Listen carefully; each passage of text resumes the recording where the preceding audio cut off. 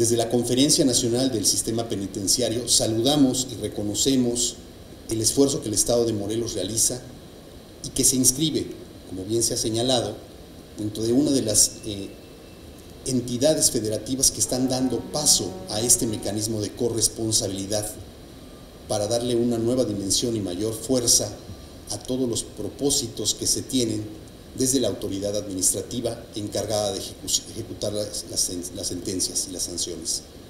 En consecuencia, eh, me permito llevar nota y registro del cumplimiento que Morelos da con la instalación de esta mesa interinstitucional a los contenidos de esta ley y a los compromisos que en el marco de la Conferencia Nacional se han asumido.